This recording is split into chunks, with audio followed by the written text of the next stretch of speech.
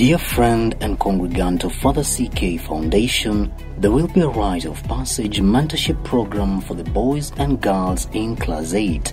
The program will run from 3rd to 9th of April 2022 and will be held virtually on Zoom. It will incorporate great counselors and great talks with Father CK.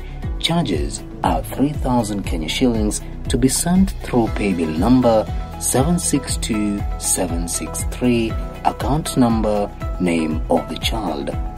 For the CK Foundation, all for the greater glory of God.